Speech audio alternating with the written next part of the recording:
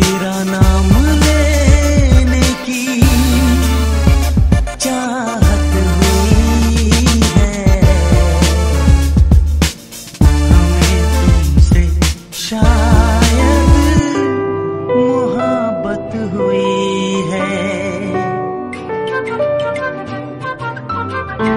है